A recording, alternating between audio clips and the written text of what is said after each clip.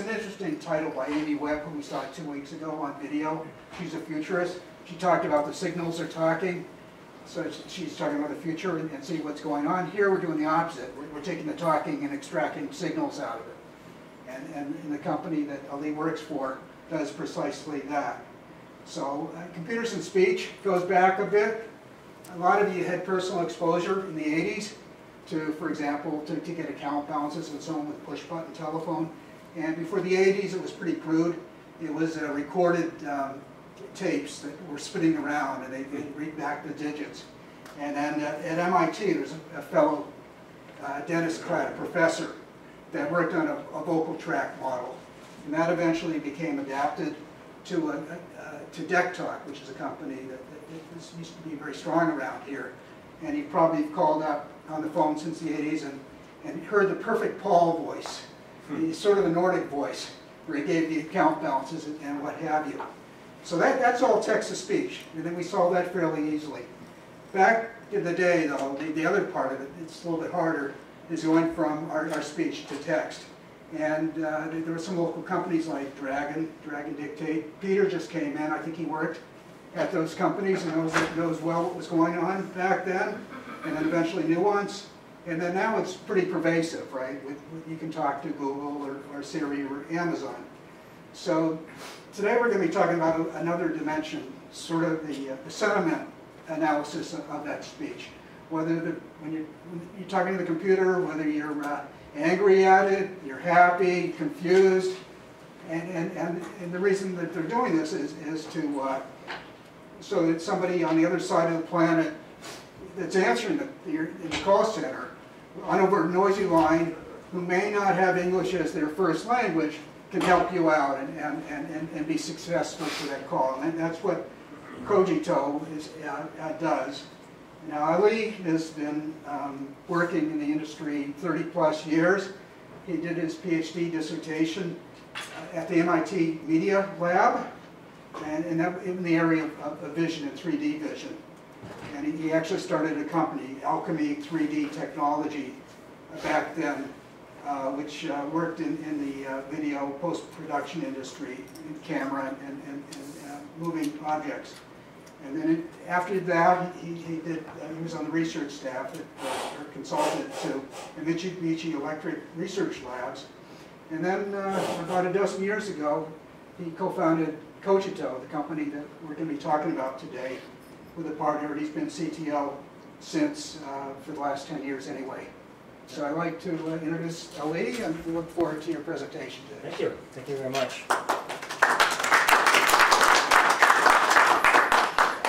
So uh, I think that uh, uh, in talking to Steve and, and others, I think a, a lot of you want to talk about some of the underlying technology.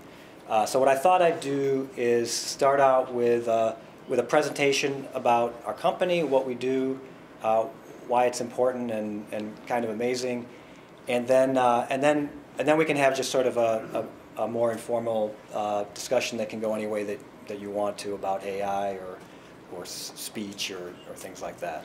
Uh, does that sound good? Sure. All right. So, um, all of you have called a call center for, uh, for some reason or another at some point in your life. You probably heard a couple things on there which are very relevant to our business. Uh, the first is that your call is very important to us.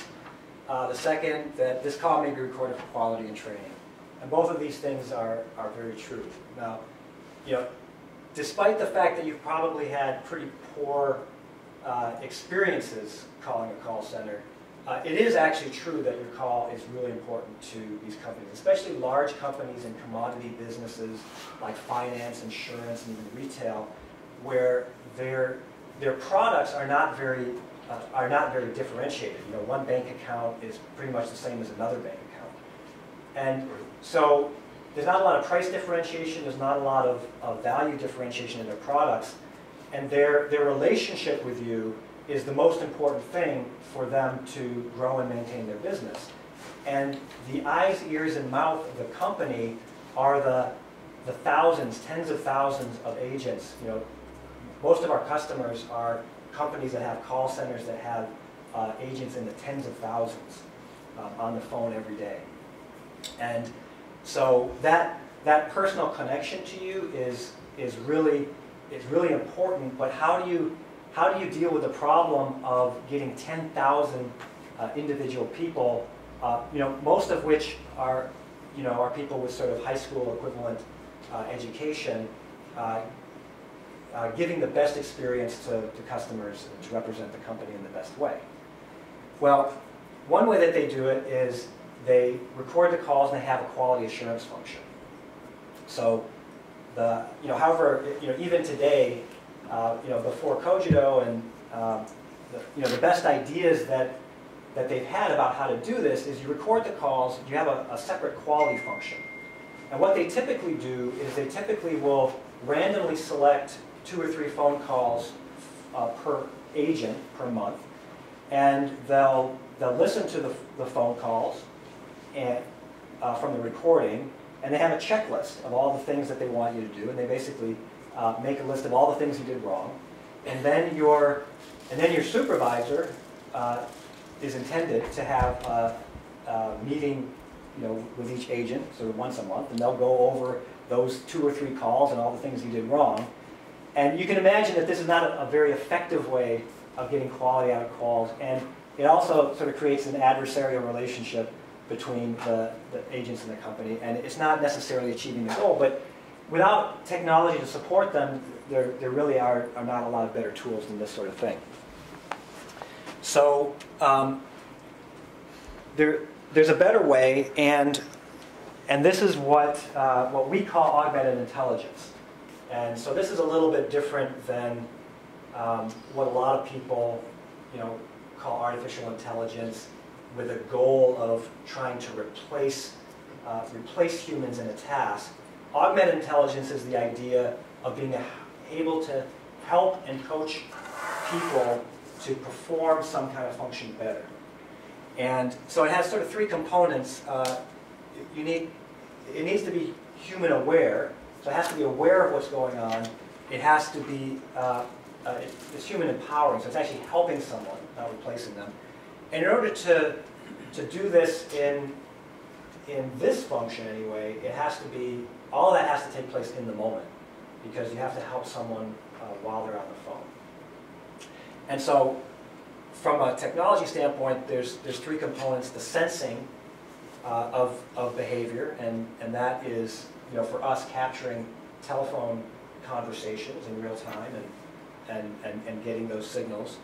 Um, understanding uh, what's going on in the conversation so that you can figure out what to do to help someone and then actually having an impact by uh, providing feedback to the user. Uh, so this middle part is where the is where the machine learning comes in.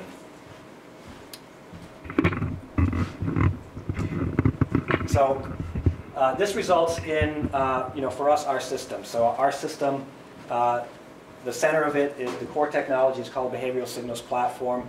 It can take in behavioral signals in real time, apply models and, uh, and, and, and, logic to that to understand uh, what's going on and what it can do to help, and then uh, provide, provide feedback, signals, and events back to a user and help them, uh, help them do better. Does it also have information on the individual who's receiving the call, things that individual did in the past? Uh, in principle, yes. So it, it certainly knows who the agent is. Uh, at this point in our company, we haven't done a lot of integration with a customer uh, information system. No, no, I So meant from the, the agent. Yeah, so it does, and there, there are a couple of things that we do in our technology that are specific to uh, a particular person.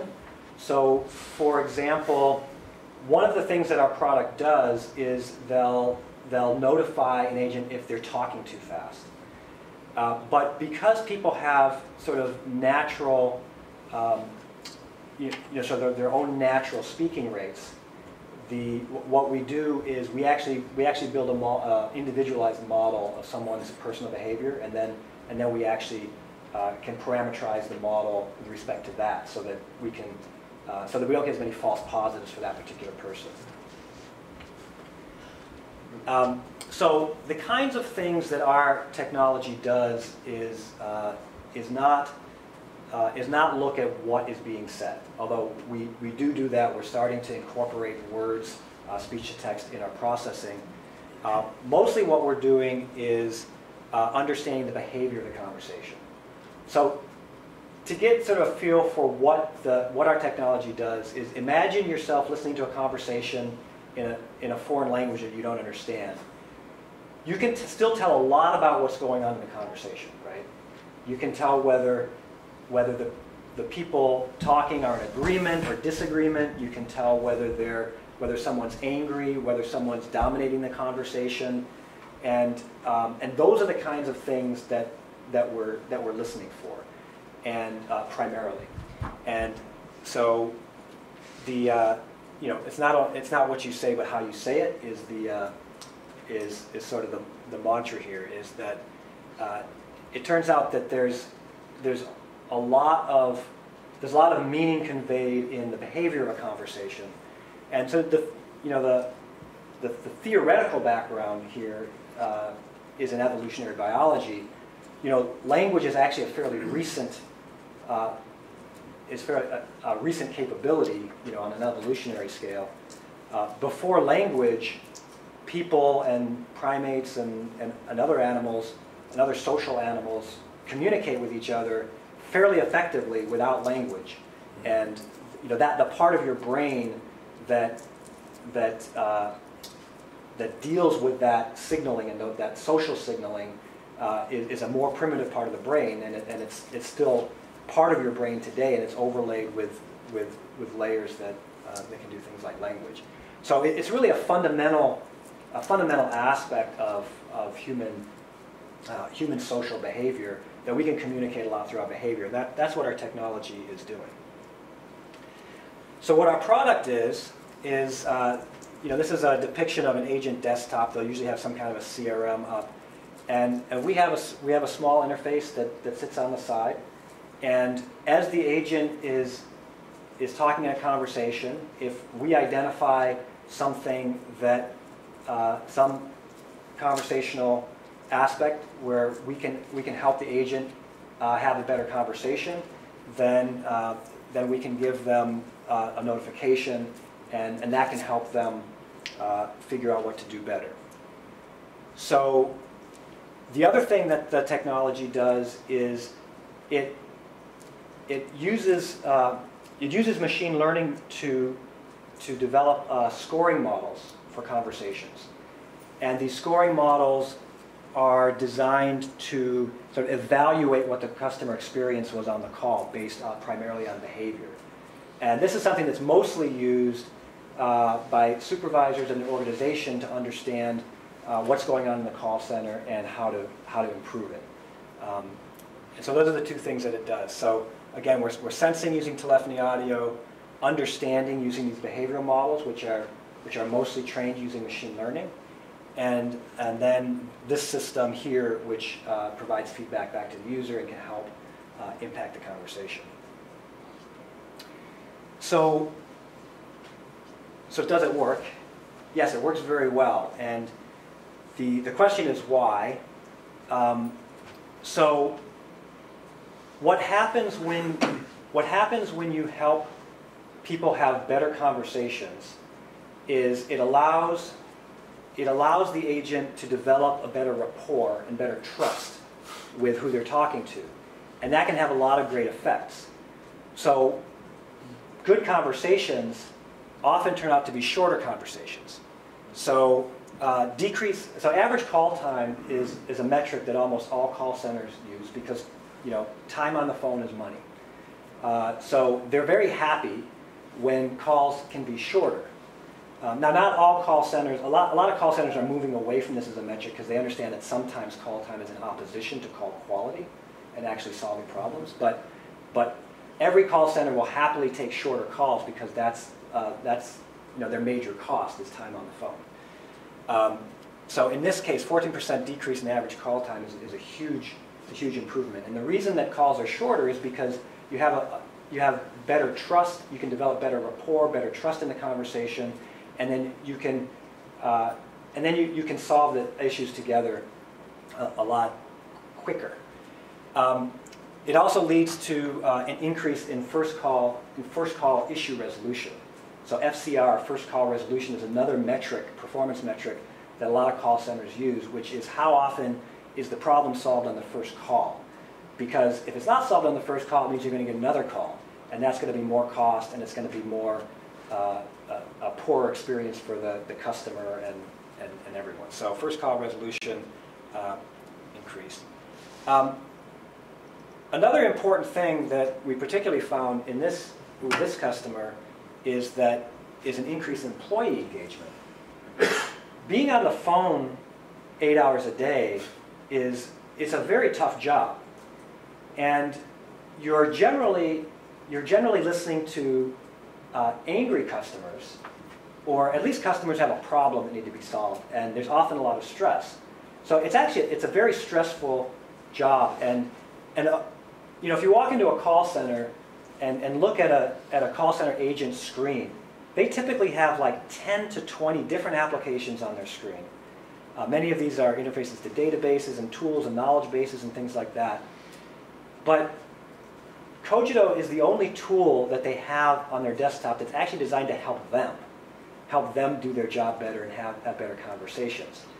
Um, and so when, when agents have that that tool and it's helping them, uh, helping them get through the day and have good conversations and consistent conversations throughout the day, uh, that's something that they appreciate. It helps them be a little bit more engaged in what can become a really tedious job.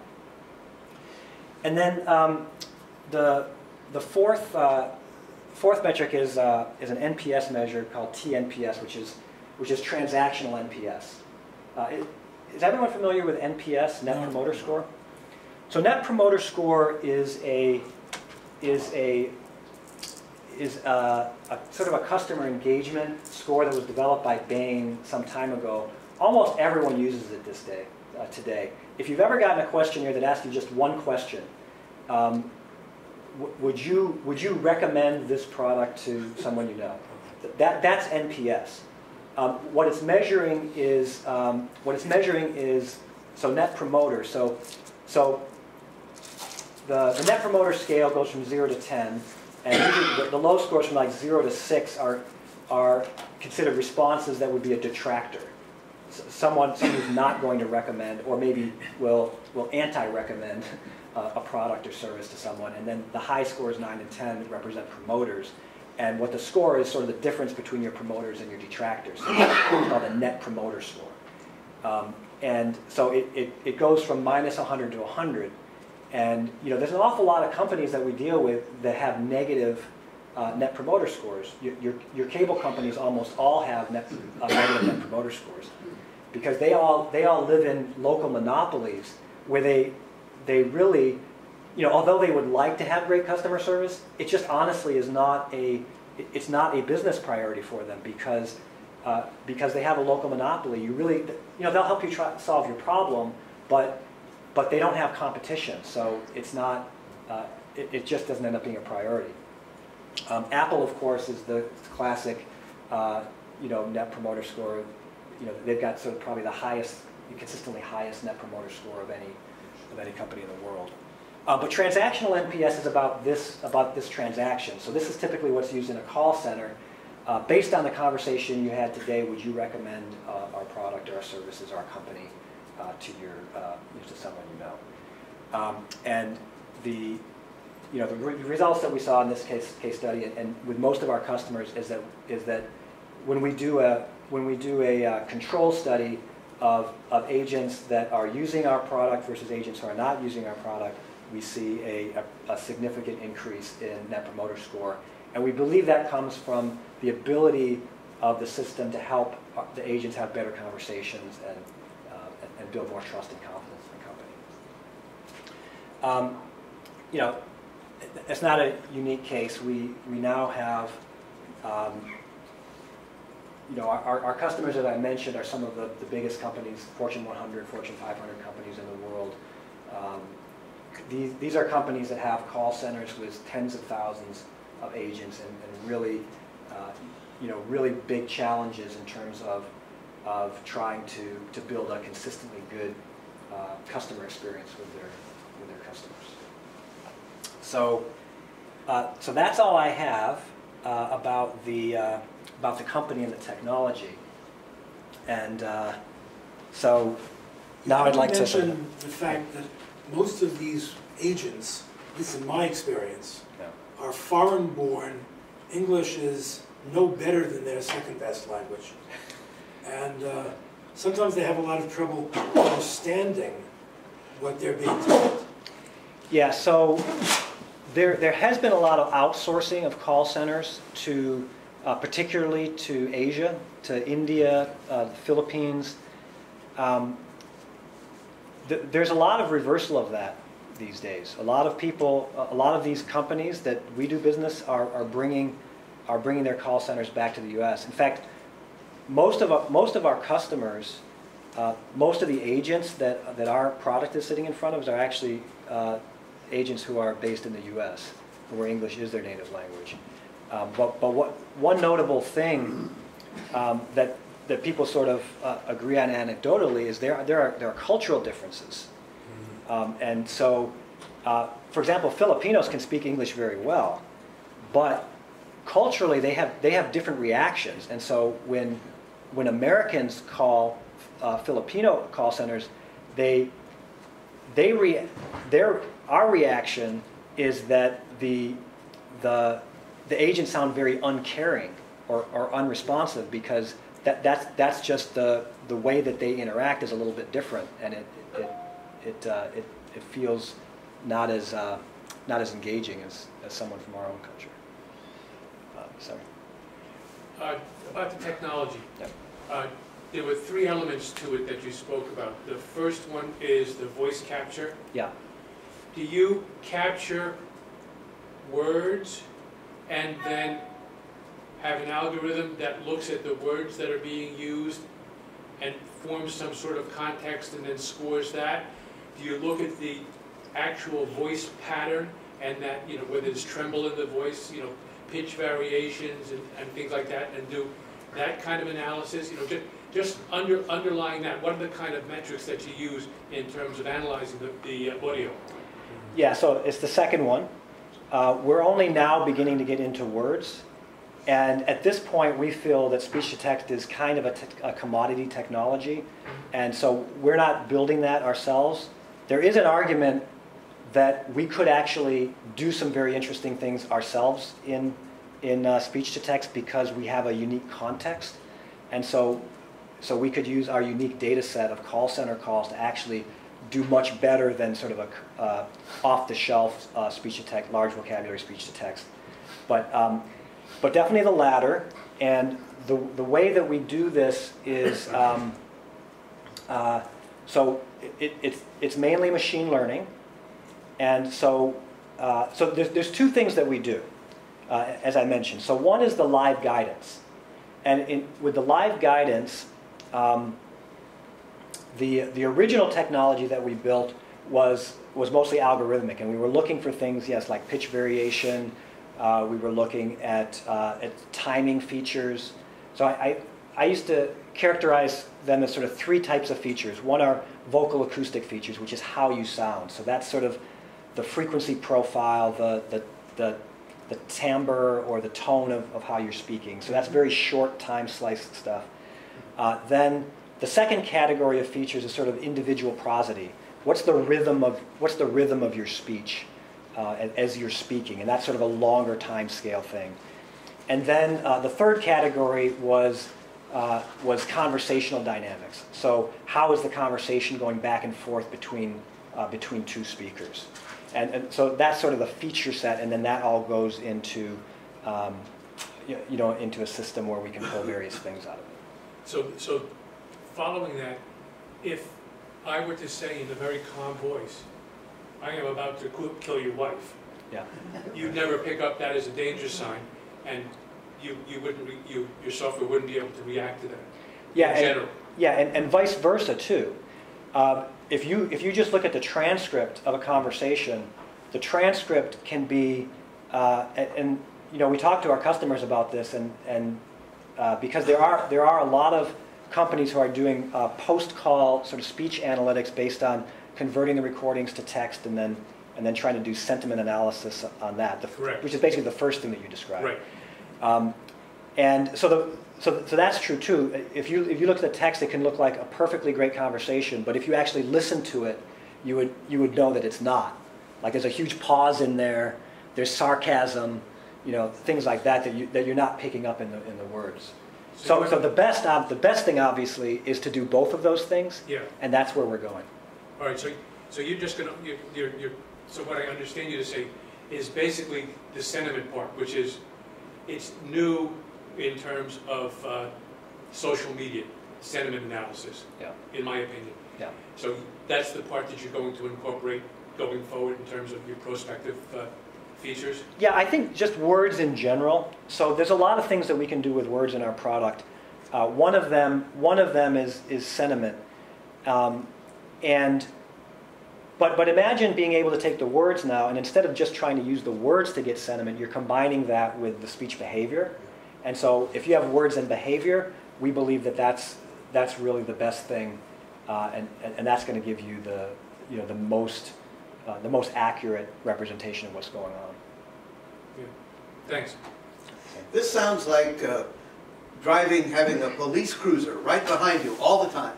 Uh, How do you uh, get the agents uh, past that uh, uh, concept? That's a really good observation. And um, the so I, you know, one of the challenges that we that we have in our company is how do you build a user interface for this sort of thing? And at the beginning, it seemed it seemed pretty straightforward. Oh, there's things going on. We'll just put it on the screen. It'll help them, and everyone will be happy. But actually, it's pretty hard. There's a couple of reasons why it's really hard to do these real-time UIs. One is that I, I, showed, I showed you, I sort of described the call center agent's screen, right? They've got, they've got a million things going on. So they're on the phone and they've got visual overload as well. And somehow we're supposed to have a box here that is, is going to be helpful to you. Uh, so it's going to be there when you need it, but it's going to kind of not be distracting you when you don't need it. Uh, that's very challenging. And then the other challenging thing is how, how do you uh, how do you help someone without being a nag? And you know, a lot of the early feedback we got on on uh, on the product is that it, it feels like someone's just just nagging you on things. now, th- there's there's mixed reactions because because some agents actually appreciate it. Uh, so they have a conversation with their supervisor, and their supervisor says, you know, you're always interrupting people, and, and they say, I don't think I interrupt people. Um, but then when they're notified in the moment as they're interrupting someone, they realize, oh, you're right, I, I, I am interrupting people. And so, so some, some agents appreciate it. Other, other feedback that we've gotten is it, is it feels like, uh, it, it feels like you're nagging me, or, or like Big Brother-ish, that, you, that you're monitoring, like, is, is my, uh, you know, is my bonus going to depend on this? So what happens in, in, in a lot of call centers, the way that, um, the way that agents get motivated is that you know these quality reviews that I that I just talked about. In some call centers, um, they're they're you know they're every month they'll they'll either get a bonus or they won't get a bonus or they'll get some level of bonus, and and that depends on, on what their scoring is on those quality things. So they're already being watched. I mean, they know like you do when you call that their call is being recorded for quality and, and monitoring, right? So.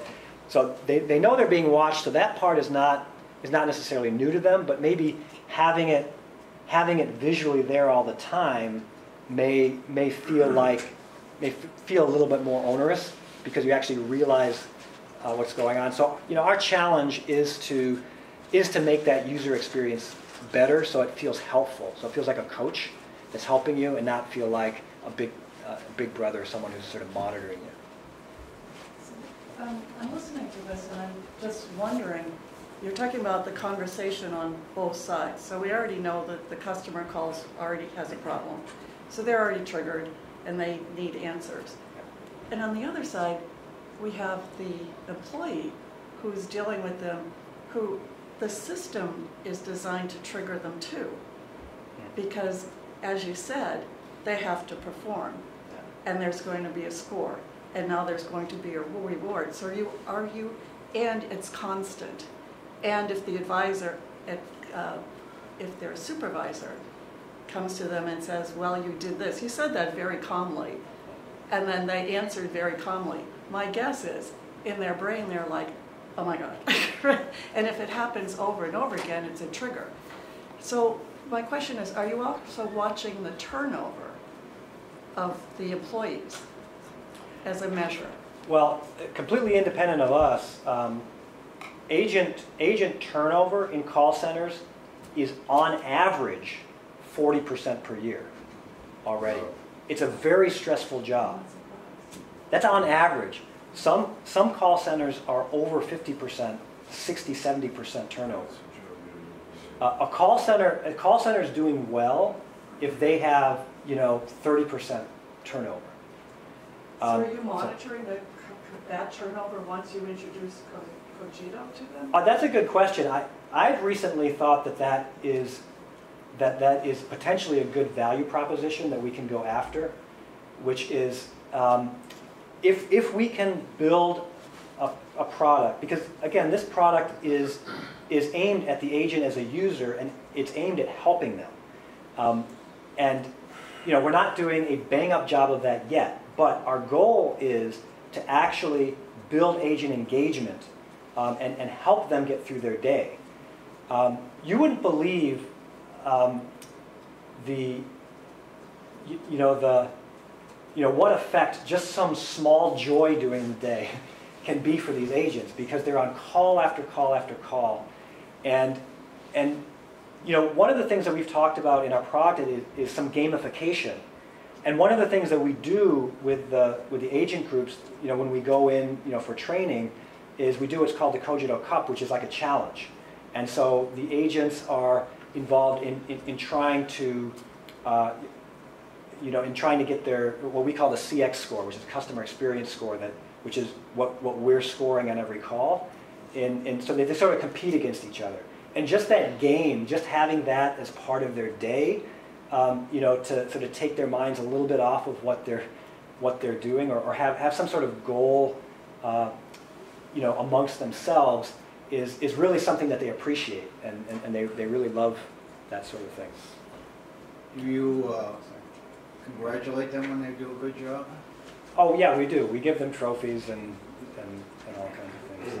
No, but I think you meant real time, right? You know, you Yeah. know, Oh. at, at the end of the call, good, you know, Oh, oh, good, oh, good that- job, you know, gold star Yeah. pops up on the screen or something. Yeah, that's a good question. So one of the things that we've been working on recently, and we're actually, we're actually rolling out now, is a lot more positive, uh, positive reinforcement. So, so this has been a debate in the application design. So at the, at the very beginning, you know, we have behavioral scientists uh, in, our, in our company, and we understood from the start that, um, that you want to, you want to give positive feedback, or, and, you, and you want to give feedback in a positive way, not always negative. But in, in some of our initial deployments, um, what we, what we have to balance that against is the distraction, right? And, and during a call, so, so one point of view that we got early on with some of our customers is, um, is, is just give feedback when it can be helpful.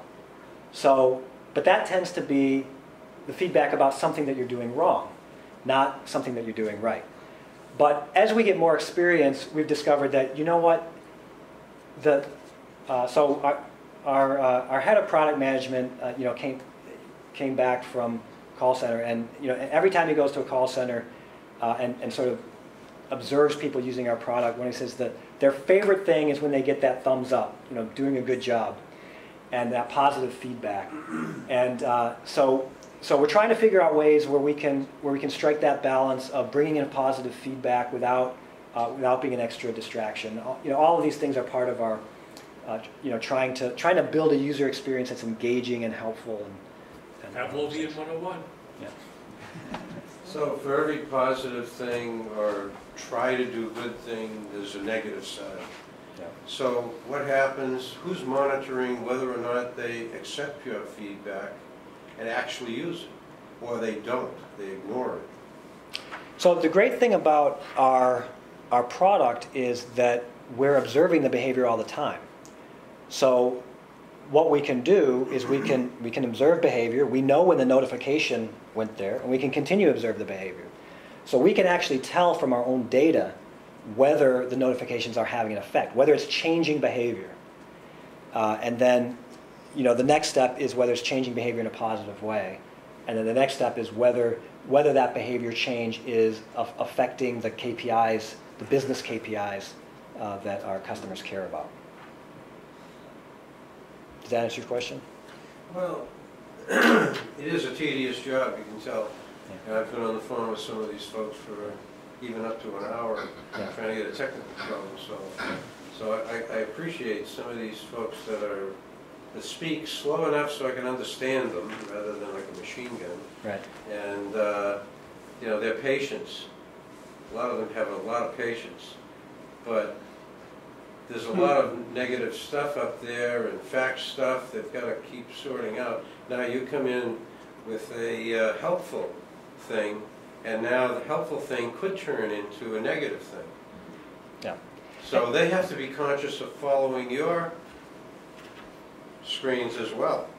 So that's yet another screen to follow. Yeah, and, that, that's the challenge. It's, it's, it's challenging, you know, we're, you know, it's a big focus of ours is, is trying to figure out how to, uh, how to give feedback and provide an engaging experience that can actually uh, help them, help them through their day.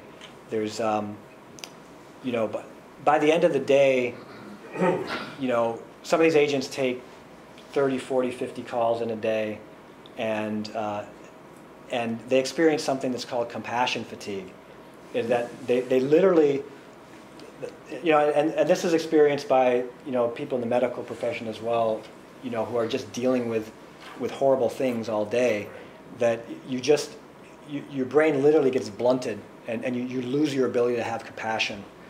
And so what the what the software uh, it tries to help you do is just be aware of those things, and, and by being aware, at, at least you can behave in a way that that helps you have better conversations. I have a question about uh, training.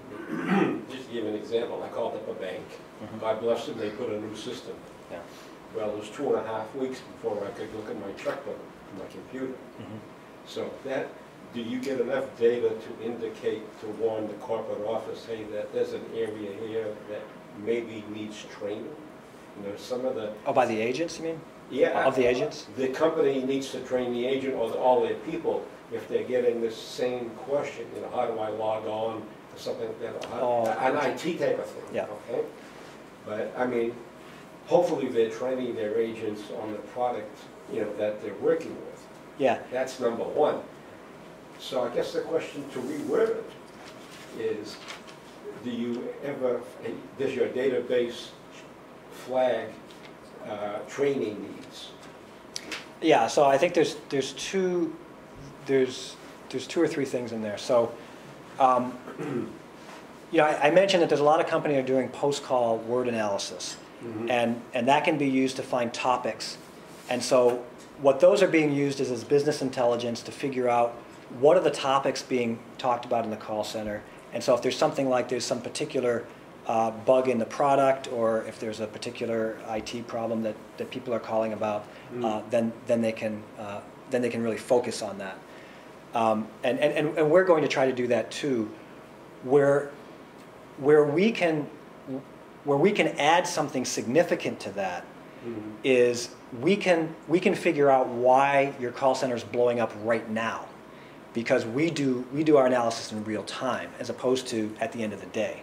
So one of the things that we can do uh, eventually and one one direction our product is going in is real-time call center intelligence on, on those topics um, the other thing uh, oh, what was the other thing I was saying. Oh yeah. So so in terms of um, in terms of understanding training of agents, uh, our software already does that because what we what we do is uh, we, we also have an interface with the supervisor, and so the supervisor can see their whole team, and they can see their uh, their score profile, and uh, every supervisor, every supervisor knows who their top performing agents are and who their bottom performing agents are. Right, but for IT, that's difficult to do because my experience with the bank was nerve wracking. But I'm just, I, I never asked them, I should have asked them, because my son used to do, oh, well, did that IT work. Anyway, make a long story, that's short. I'm just curious, if the bank I worked with all of a sudden realized they were getting thousands of calls, I don't know whether, if they're national or not, but it was a pretty good sized bank. Yeah. But, but, but here's an interesting use case that, uh, you know, that's, that's really something that we ran into, is early on in our, early on in developing our technology, we were, you know, I told you we had features based on individual pros- prosody uh, that include things like long pause, long extended pauses and things like that. And we got a data set where we found sort of an unusual number of sort of long pauses and, and, and really awkward conversations, and I was wondering why. So I went, went in and listened to some of these calls, and I realized that the reason that you have a lot of these long pauses is, is because of the IT. That, that the agents were literally waiting for screens to come up. And so you have these just really terrible conversations because the, the caller is sitting there on the end of the line like, what's going on? Hello, are you still there? Um, because they, you know, because of the IT system. So you can actually, so I have thought that one of, one of the value propositions that we can do when we come into a new company, you know, we're recording, you know, ten, tens of thousands of, of calls per day, um, is that we can just profile the calls and say, here's, here's five things you can do uh, operationally, you know, by changing your operational procedures to improve the, the, um, improve the conversations. A- another example of that is that um, in, in a lot of type of phone calls, uh, agents have to agents have to say disclosures to you. And so this is another place that trips up our, our sort of normal, because in normal conversation, you don't have someone droning on for a minute, right? And that's an indication that something's wrong, that you're not actually allowing room for someone else to speak. And so, uh, but what we find, you know, we go back and listen and say, well, they're giving a disclosure, and it's required to give that disclosure.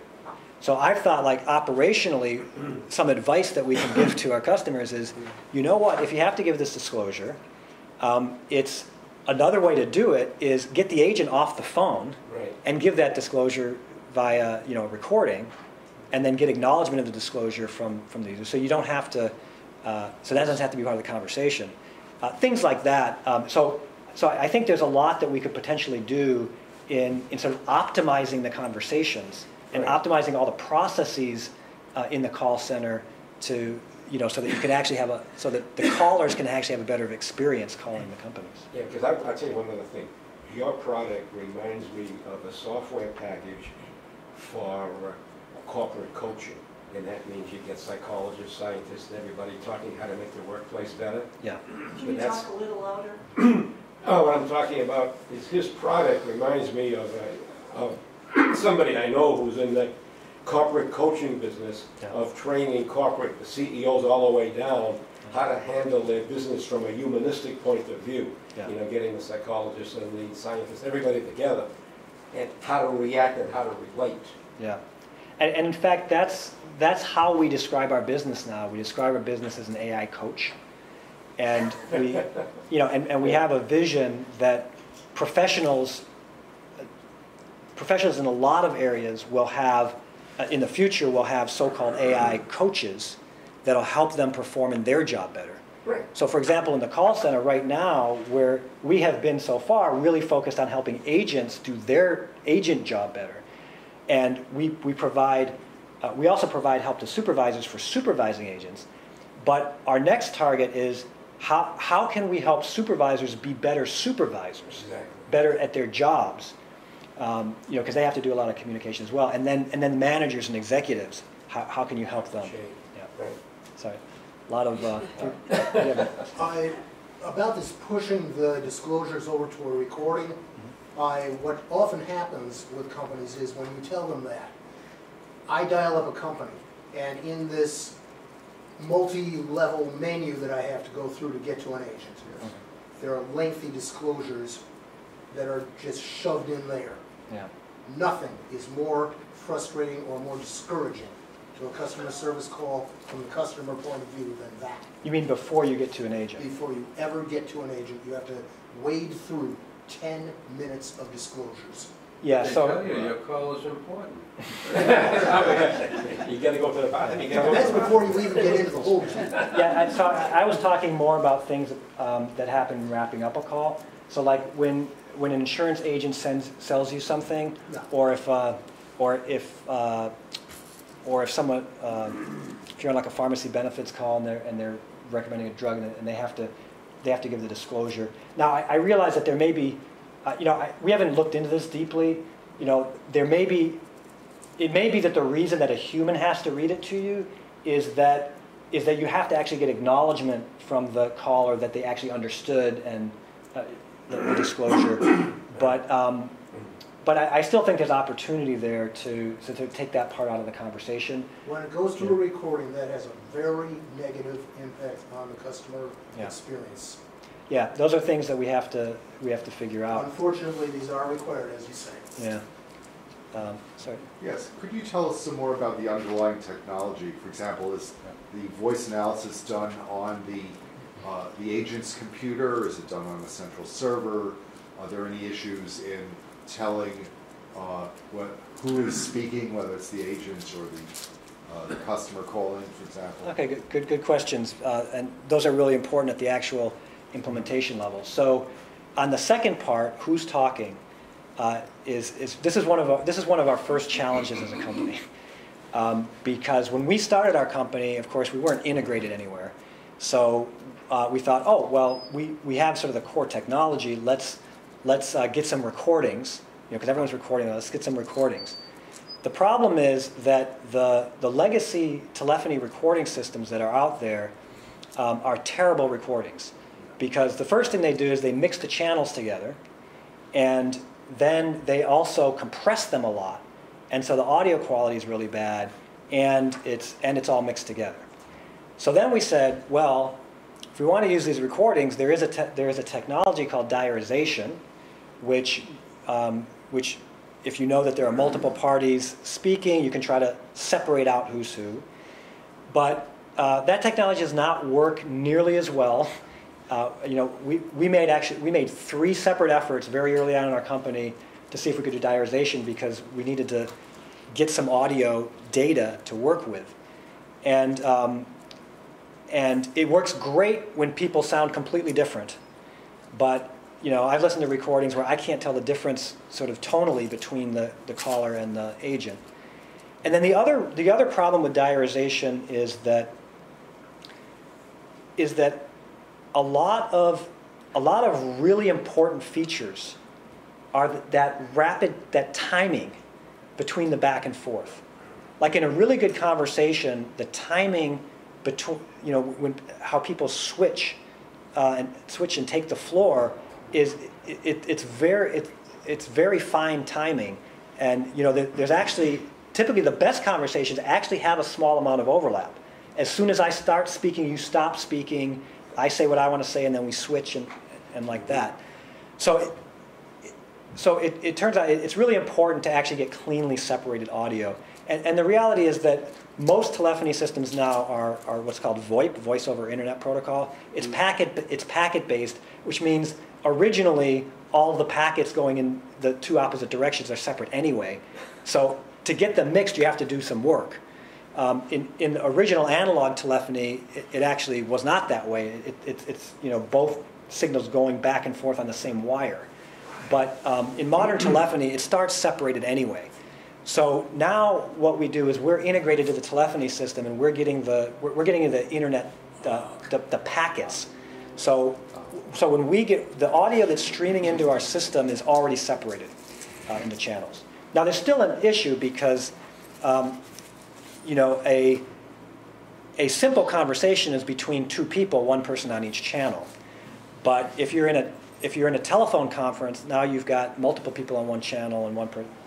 But you know that's that's sort of a second order second order thing. I, I want to answer the second question, which was uh, or the, your first question, which was uh, oh uh, where's the audio being processed? So uh, most of our system is is a SaaS, a software as a service in the cloud. And so we're implemented in the cloud. We, we create a um, secure high bandwidth pipe between the customer's telephony data center and the cloud. Uh, uh, you know, we're in AWS. And, and, and so the audio is coming in there, and then all the processing is going on on the, on the cloud. And then that gets back to the user through a, a, a web-based application. So the, the, the window on their screen is, is basically a, a, a small web app. Would you happen to have a marketing video or something that shows the product? Uh, we, we do, I think that there are some on our website. Um, I don't have one with me right now.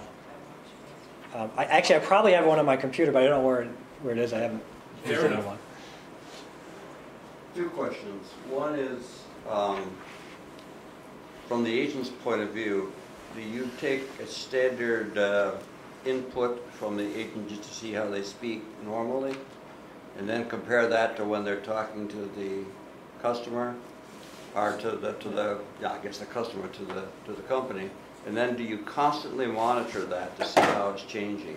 In other words, you're looking at the agent in real time and how they're conversing and seeing how that goes on and thus modify the input that you give to that agent.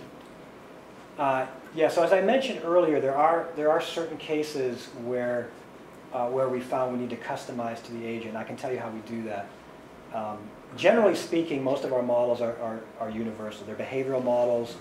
Um, The, the actual things that we're measuring don't change, uh, you know, regardless of the context or the language or the culture. Now, what meaning those things have does change, so there is a calibration on, on how we notify and, and, and things like that. So if you're listening to a Chinese conversation, um, you're going to have, you're going to have sort of different, uh, a different back end to it all.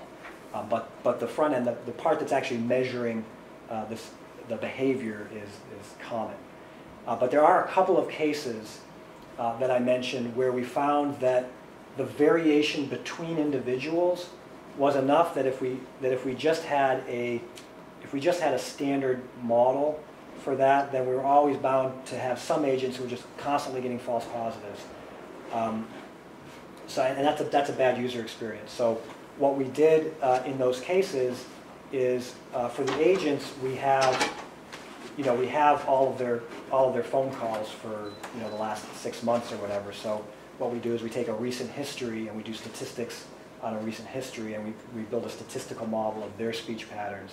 And then every day that just gets updated to the, you know, to the, you know, whatever the time period is. Okay, the second question, and this is really changing something, maybe this is not what you're gonna talk about, or what you're gonna say. How do you, what's the nuts and bolts of how this works? Do you look at frequency analysis? Do you look at amplitude analysis?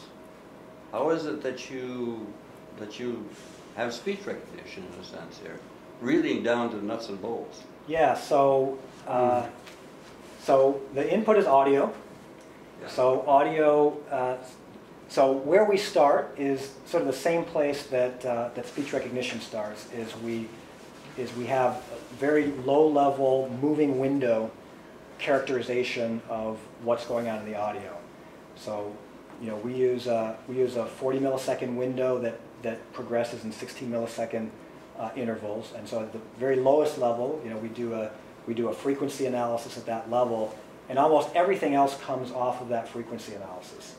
So if we're looking at pitch or pitch variation, that, that's going to come off the formants in the, in the spectrogram uh, going forward. Uh, If we're doing, um, uh, we had a feature called dynamic variation, which sort of measures the variation dynamics. You know, that, that, you know, has to do with the amplitude. Uh, We have sort of energy me- metrics and things like that. So all of that ultimately comes from, you know, audio is, is a time, it's a time signal, and so that has a, a frequency content, and, and everything pretty much comes from there. Can you get right down to the phonemes? Well, again, we don't, you know, we don't do, you know, our behavioral analysis is not based on words. So we're not looking at phonemes or things like that. But a lot of the, a lot of the same front end, uh, we use, uh, you know, for those of you who are in speech, we use what are called MFCCs, mel frequency cepstrum coefficients. Um, and, you know, those are, those are useful in, in extracting phonemes, but, you know, we use them in a different way. We use them to sort of characterize the, the, the, the frequency spectrum. Uh, there's another question. Yeah, um, it seems to me that your pro, your current product is helping the agent to handling customer services part of it, right? Or answering questions. Um, is there any plan down the, down the road automatically, I mean, automate entire system? So basically, just handling customer service directly. Yeah, so there's a whole, uh, there's a whole sort of segment of the industry uh, around what are called chatbots, which are designed to replace, uh, uh, replace telephone call agents. But you also mentioned uh, something that I want to comment on, which is uh, customer service. So, yeah, we're, we're primarily in customer service, but really the technology that we've developed can be applicable to, to all kinds of conversations. So, uh, we actually are, we're, we're kind of segmenting our, our market into, or not really our market, but our, um, uh, you know, sort of the, the focus of the product into service, uh, sales, uh, sales conversations. Um, uh, There are, there are, uh, in insurance, there are claims conversations. And, and there's also like, like uh, care, there's technical support, and things like that, so. um, So, um, yeah, so, so that's one thing. Now, in terms of, in terms of chatbots, uh, you know, we've been having this conversation for years. You know, people ask us, investors ask us, you know, oh, what, aren't you worried that, you know, with all this AI, that chatbots are going, that are, are going to replace customer, customer service representatives? So there's a couple of things going on. So one is, um, uh, one is what's called uh, uh, digitization or, or, or whatever. So, you know, there's a trend that's been going on for 10 years is that, is that companies have been trying to, to give their customers more self-service. So there's simple things like checking a balance or, or changing an address or something that you, you don't actually need to talk to a person to do that. And in fact, it's, it's typically more efficient if, they, if you just give, give them access to the database and they can just change it themselves, right? So there's web interfaces, there are, uh, there are the, the phone IVRs, interactive voice response, these robots which are, you know, often uh, annoyingly used to, uh, to try to prevent you from talking to a person, but, um, but they can also be very helpful in, in, in, in, in letting you get some of these simple tasks done. So every one of our customers uh, has done all of those things, and, and they continue to do all of those things, and their call volume continues to increase.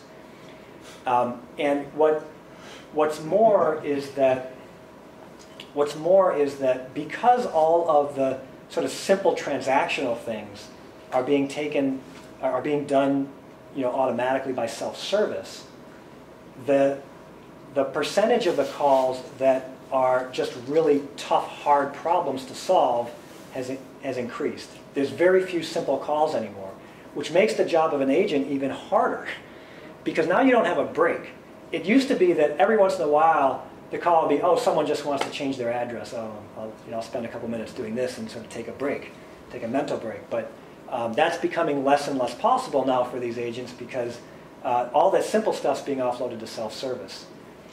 Um, the other thing is if we go back to uh, what I was saying at the very beginning of the presentation, which is that we're dealing with companies, uh, you know, these, with, with large call centers that have um, that have very commodity products, and there's very little differentiation. You probably don't care who owns your car insurance, right? You want the best rate, really, but beyond that, it doesn't matter. Um, and so one of the one of the unintended side effects of of taking the personal element out and and diverting calls to self-service is it becomes a lot easier to change. There's no there's no emotional connection with the person you're talking to. There's um, if you can just say, "Oh, I'm fed up. I'm just going to go and then I'm going to digitally sign on to this other company and have their product." And none of these companies really want easy churn. They want the opportunity to keep your business. There's a, there's a cost of acquiring customers, and there, you know, there's a benefit to, you know, to having long-term customers. So, um, so, you know, with all, so, so, so that's kind of on, on the business side of it. Like, it's not really a good idea for most of these companies, and and, there- and a lot of these companies, our customers are now realizing, and actually putting a focus. Like, um, I mean, if you've seen, I- I think it, I think it was Amica. Uh, you know, like Amica insurance companies, like really put a lot of, uh, you know, a lot of their advertising into. You know, you're going to talk to a person, and we're, you know, we're positioning ourselves as the best customer service. T-Mobile, I think, has a has a campaign on right now. Is that the phone will always be picked up by a person. A, not- so, so, I mean, you can see it in the marketplace. These companies are all moving towards understanding that improving that human connection is really vital to their business. And, um, and, and actually, if they, and I haven't even talked about technical feasibility yet, but if this were feasible to have these automatons talking, uh, talking to your customers, it, it would just make it a lot easier for them to, So you're to trying to balance those two when you develop your software, your system, right? Um, Well, I- our customers are trying to balance the, uh, you know, having good, uh, good personal conversations with self-service that that they can offload. And I think that's good for customers too, like there's certain things you just want to be able to do without having to, to wait online and talk to a person and get them to do it. Um, So. Yeah, I, I was just going to underscore what you were saying about Amica, because I do business with them, and I have done business with Humana. And I do business with Blue Cross Blue Shield under a government-sponsored program. Very large differences. With Amica, yes, you're right, they are emphasizing getting in touch with an actual agent, a human being, almost every time. And with me, the only reason I'm calling is I couldn't do it online, Yeah, or with the bank by phone kind of thing. yeah. The General observation about the customers who call in, there's a big difference between me calling a company with a technical problem and a couple of years ago, my mother calling up.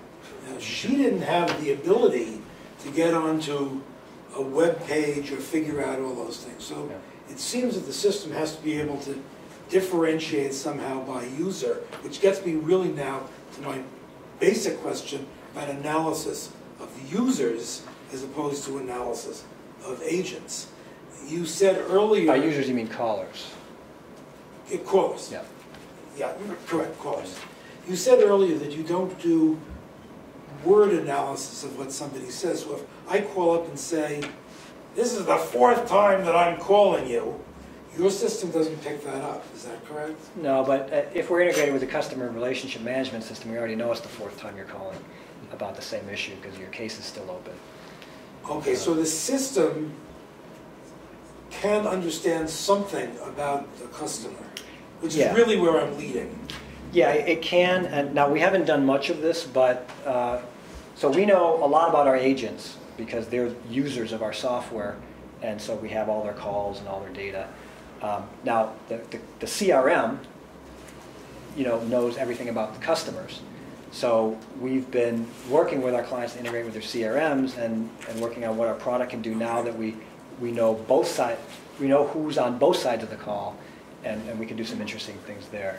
And then as we bring words into it, yeah, we can do a lot of those things as well, is to automatically understand call context, like in terms of this is my fourth time calling, or whether this is a, um, whether it's a sales call or a, or service call or things like that. So without asking you for private stuff that you don't want to talk about, where are you, where do you think this is going over the next five years?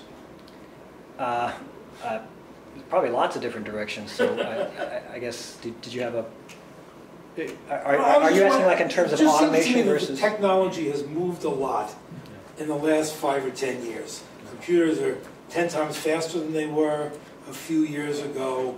AI is getting better, people are understanding learning protocols better. And I'm just wondering where, where, where you think this business is, is going. So what we're focused on is the, the concept of being a, being a coach. Uh, Augmented intelligence and being, being an AI coach, which is, which is being able to understand how humans are behaving and help them perform better. And so that's our focus. Uh, there's a lot of things, there's a lot of directions that our product can go. We've talked about some of them here today. Uh, but in terms of, of being a better coach, I think that, you know, we, we have an ongoing, we have an ongoing program that's, you know, improving our ability to, uh, to understand and score conversations or parts of conversations, uh, to understand different, uh, different scenes in a conversation or different contexts of a conversation. And so all of that will give us a bigger toolbox for being able to do a lot, uh, a lot more things in our current, sort of in our current business. And I think where we want to, where we want to extend our business is, is, as I mentioned before, is okay. You know, we're making, we're helping agents be better agents. Can we help supervisors be better supervisors? Can we help managers be better managers? Can we help uh, executives be better executives? And um, so, so that's kind of that's kind of our our, our vision and, and where and where we're thinking. Uh, but uh, you know, we still have a, a, a, huge amount of work to do just just in the call center. Sorry. Is this a, how does this work when someone buys this service? Is it a plug and play program or is it a 10, 10 month process to get it implemented and everything? And what computer languages do you favor within your company? Okay, so there's, uh, um, there's really only one complex part to getting our, our system up and running, and that's the telephony integration. Everything else is a software as a service in the cloud. So in that sense, you can just turn it on. The application's a web app. You just, you know, you know, get authenticated and point your browser to, to the thing. Um, but the telephony integration, you know, the telephony systems are are typically these legacy systems that are giant data centers in in the, the company. They have huge IT departments that run, you know, because obviously the, tele, the telephone systems are their, the lifeblood of the call center. So um, there's a huge variation in these, in these telephony systems. Even if you have the same system as someone else, the same physical hardware, the, the variations in how they can be configured in the different versions of the hardware, um, it's a, uh, we have to go through a solution phase with the customer. And um, you know, some of our customers literally, literally have taken 10 months uh, to, you know, from, you know, from you know, contract to, to going live. That's not what we want. You know, the, the, probably the fastest ones we've done have been a couple of months, uh, but there is a solution phase on that. Now that that's changing too, because now there's an emerging technology called cloud telephony, where the, the telephone Repeat system that is word? cloud telephony. Cloud telephony, Oh, okay. Yeah, so you may have heard of a company called Twilio. You may have heard. Uh, so Amazon uh, Web Services has a service called Connect, Amazon Connect. Uh, they have everything. So, um, what what you know, and there, there's actually dozens of uh, dozens of these companies, and and what they do is they actually put your telephony system in the cloud. So what they do is um, instead of the telephone company coming into so I'm if I'm if I'm a big, big company like Humana, instead of the telephony coming into my data center and, and then I have hardware which I bought from these telephony vendors where I'm doing all the networking and everything inside my company, um, a cloud telephony company is getting the uh, is interfacing with the telephone company directly, the public telephone network directly, and all all I'm doing uh, as Humana is I'm just signing up for the service and I'm pointing a web browser. Uh, actually, I, I, think most of them have downloadable. So, so basically, you download uh, desktop software and you have a soft phone on your computer. And so, and, and that's just connecting directly through the web to the, you know, all the networking that goes out into the public te telephone system. So now I don't even have a telephony system on premise.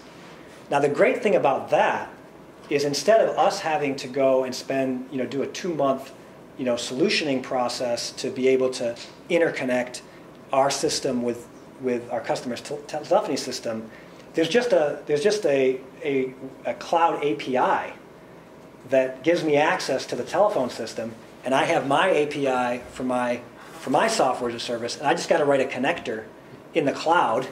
I, I never have to touch the, um, I never have to touch the customer's IT center at all. So that's really exciting, and that's something that's going to happen in the next five to 10 years. I mean, it's already happening, like these companies already exist, and a lot of smaller companies already use cloud telephony because it's much cheaper to bring up than, than maintaining your own, uh, your own uh, telephony system. Uh, but, uh, and, and adoption is starting to pick up in the sort of the Fortune 100 sector of companies. And so I imagine in 10 years, there'll be anywhere from you know, significant adoption to maybe entirely replacing uh, you know, legacy telephony systems. And what was the other half on the, the uh, programming languages your company favors? Uh, so on programming language, it depends on what, what part. So the core computational system, because it has to be very fast, is written in C, C++. Uh, but that's, that's, you know, that's that core, but then, then we have web services, and those tend to be written in Java. And then, uh, you know, the, the front end, the web application uses, uh, you know, modern, modern web application technology, which is JavaScript and React as a framework. And um, what else? Uh, there's a lot of aspects of, of connecting cloud components that, uh, that relies on Python. Uh, I don't know if you guys are familiar with what's called serverless technology, but uh, instead of so in, in, with cloud technology, there's basically three ways to deploy systems. The, so the, the oldest is you simply have a, a server. You have a virtual machine or a server in the cloud, and then you just you load all your software on that, and you, you basically are running a, a server that someone else is, is maintaining. Um, more, more recently, uh, there's been a uh, technology called containers, which is basically uh, a software sandbox that, that sort of that sort of virtually represents a machine, um, but you don't have your own server. These containers are just being run on these container farms, and so it's much it's much easier just to deploy that because you can test it internally and then you can just throw it out into the cloud and it'll just run. Um, but then then there are uh, then the, the, more modern uh, version of the cloud. Uh, there's a deployment methodology called serverless, where, where you don't really have any concept of a server at all. You're just running a function, right? So a lot of, a lot of data uh, transformations are run using, uh, using this technology where there's some event that just triggers a function and, and the function may be written in Python or something, but what that's going to do is it's going to like go over to one database, grab some data, process it, put it in another database. And so what you can do is you can just write these functions and you can put them in a, in a sort of a function repository and then some resource, some computational resource out there is going to pick up the trigger, go grab the code, run it, and then put the code away. Um, so uh, why did I get into server? Oh, because we were talking about languages. So, so they, they, typically, they typically allow you to write functions in maybe half a dozen languages. And the most common ones of those are, are Java and Python, but you can also um, I think you can also write them in, write those functions in JavaScript and a couple of other uh, languages. Two uh, questions about reliability if you do go over to the cloud telephony and these cloud-based uh, centralized databases. Uh, first on the databases, are they HIPAA compliant? Absolutely. So again, we, we deal with uh, some of the biggest companies in the world with some of the most sensitive data in the world, insurance companies, banks, and healthcare institutions.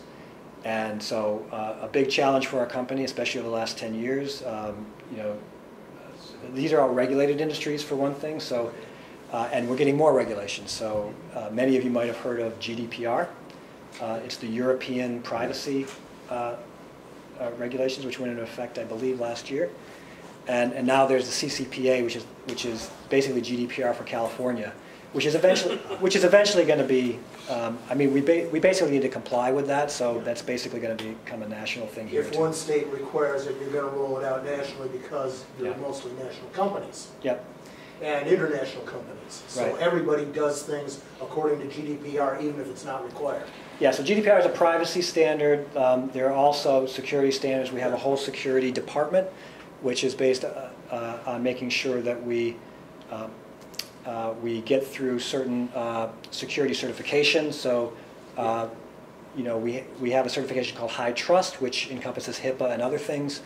And we have certification around PCI, which is the, uh, sort of the credit card information, uh, private credit information. Um, And that's required in the, in the financial industries. And uh, we have, uh, we have what's called SOC compliance, which is a sort of op- operational procedural compliance around uh, how we run our internal processes, you know, to make sure that we don't make mistakes and things like that. Now, uh, there was also a secondary thing about reliability. You've gone over the security and the privacy very nicely. But if I'm a call center and I'm using cloud telephony, what happens if my connection to the cloud goes down? Where's the fallback? Redundancy.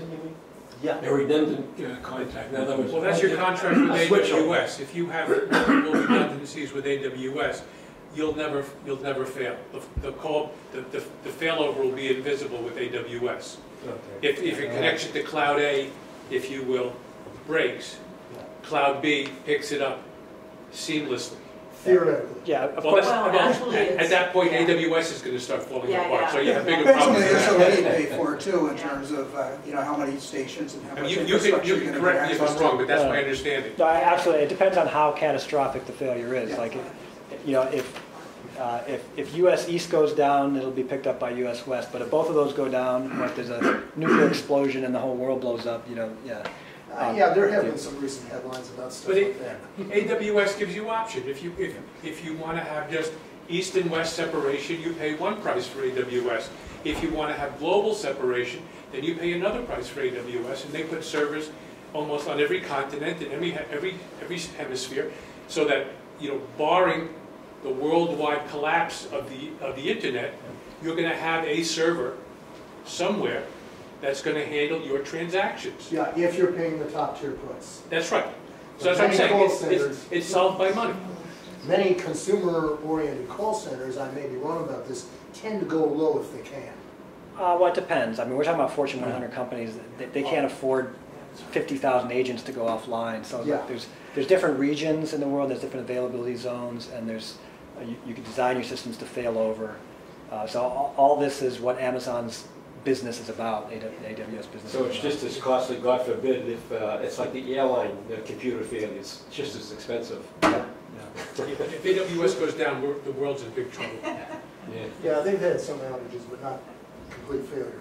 Okay. So I, I was seeing here, it's kind of an analogy between agents and callers and teachers and students. Oh, yeah. And, and I was wondering if there's a prospect of using this kind of stuff. I mean, there, you can imagine different contexts, online tutorials or online courses or even in classrooms. Yeah, I think that's a real, that's a really good example of, of where you could apply a coach.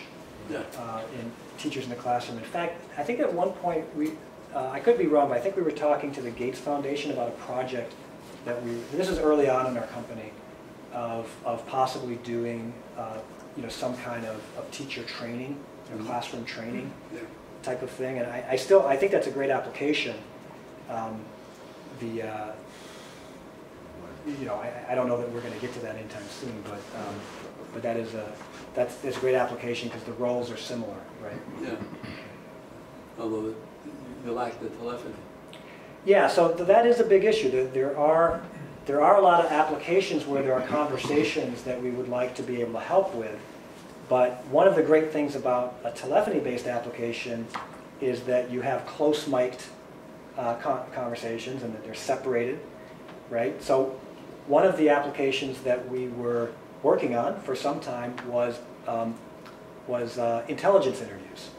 So uh, you have two people sitting across a table, and um, and uh, you know uh, we uh, you- sort of want to analyze the conversation, see if you can pick up signals of of dishonesty or, or things like that. Um, but you know, aside from that whole application area, the you know one of the technical difficulties is how do you get how do you get speaker separated data in sort of an ambient environment? It's pretty hard. You know, we set up directional mics and, and you know trying to get separation that way, um, but it, it was it, it was pretty difficult. It's pretty difficult to do it. So so any any kind of application where you're um, you know, where you're dealing with, uh, you know, trying to get conversations out of the air as opposed to off the wire are, are gonna be a little bit more difficult, uh, just from an audio point of view. But, you know, who knows, with, you know, with machine learning, you know, we, we might be able to get better and better at, at, at being able to, uh, you know, differentiate who's talking. I mean, we can certainly do it ourselves. And um, so the signals, the signal's obviously there. Uh, the, uh, but, you know, And having, can- having Can you imagine miking everybody? uh, you, you could in certain cooperative environments, but like uh, if you, um, I mean, like, like think of a classroom. I mean, there, I mean, you might be able to, but but it's kind of awkward. And uh, if you're talking about um, having a, I don't know, like in an interview situation, you know, that, you know, do you mind putting on this mic? You know, Like at a- at a school of education where you're actually trying to teach people. Oh, yeah, yeah, in a, in a training situation, yeah, in a training situation, I think, I think it can be done. And in fact, I think there's a lot of good training applications for this kind of technology. Who, who does the best job of differentiating off the air speech among multiple users? Oh, I, I- I don't know if, uh, yeah, I, I- you know, like I said, we, we tried, we tried a number of times ourselves internally to build diarization technology. Everyone claims, uh, What is this word? It's called diarization. What, what it means is if you have a stream of audio trying to identify different speakers, like who's speaking when, that's basically what diarization is. Um, you know, so, so many, so many com- companies claim that they have, you know, world-class 90% or you know, 99% you know, accurate diarization. But i- i- in my experience, it hasn't been, uh, and I haven't looked into it in a while, so I, I don't know if I can answer your question, but, um, but I, I've, I've been disappointed with it. And, and the other thing that I mentioned is for our purposes, it, it, unless you, unless you can accurately get, get the overlap part, you know, so in, instead of making a forced choice as A speaking or as B speaking, if you can identify very accurately uh, in time um, that A and B are both speaking at the same time, unless uh, until you can get to that point, uh, diarization is not going to be great for some of the, you know, some of the dynamic features that we're looking for. Um, so for the time being, um, it, it's great to have you know these isolated channels uh, that we can do this off of because we can we can do some really cool things with it. So there's a bunch of volumetric data that's available to help classify the caller, things like their age, their, their sex, and, and even their medical ailments. There's application where you can tell somebody has pneumonia, for example, interacting with a nurse. Some of these specialized um, verticals uh, are out there that are getting traction so that they can go to the next level in a, in a specialized domain. Uh, th- There are some, um, uh, so we did some internal projects about five, six years ago on, uh, on gender identification, which was very successful. Uh, that- That's, that's actually a fairly easy problem to solve. Uh, We also tried age. That was not so easy. Um, So I think that, that's pretty unreliable. And- And probably you can imagine why. Like, it's sometimes really difficult to tell. There are a lot of uh, applications of very similar uh, voice analysis for various diseases. So I know it's been applied to Parkinson's. Uh, we we had been talking to uh, people about, and, and, and, I don't know I don't know so much about speech, but there's certainly a lot of technology aimed towards autism, and uh, you know actually I, I kind of glossed over this completely. We haven't been talking about the company's history, but our company actually started in in trying to identify clinical depression, and uh, and we did a big DARPA product, uh, project um, early on in our company where we were focused on um, on, on trying to to solve some of the problems of, re- of return, returning warfighters, uh, you know, with PTSD, uh, depression, and suicidality. So, you know, we in our own history, and in fact, we, we spun off we spun off part of our company last year, which was sort of the remnant of that DARPA program, uh, looking at uh, at distress like uh, depression and PTSD, uh, into a company called Companion MX. And that is a technology that looks at behavior on your mobile phone. Not necessarily the conversations, although there is a conversational component or a voice diary component to it, but just your daily activity. And, uh, and, and tries to understand uh, if you're in a clinical setting, like you've been diagnosed with some sort of episodic uh, mental illness, whether, um, uh, whether you're going off the rails. Uh, and, and an interesting, uh, an interesting thing in our, in our company history is that the clinical trial for that technology was done here in Boston in the first half of 2013. And if you remember, right in the middle, in April 2013, was the Boston Marathon bombing. So we had a cohort in that study which was uh, diagnosed with PTSD and, uh, and then a healthy control group. And we, we got a very good model from that data uh, because there was coincidentally a traumatic event sort of right in the middle of that clinical study. And so that, that's one of, um, you know, but then the data we intended to collect, we, we have as well, and that led to a sort of a clinical model for monitoring uh, uh, depression in, in patients. It's eleven thirty now, and I'm afraid this is the kind of a conversation that could go on for three more hours. But I really want to thank you very much for doing a really interesting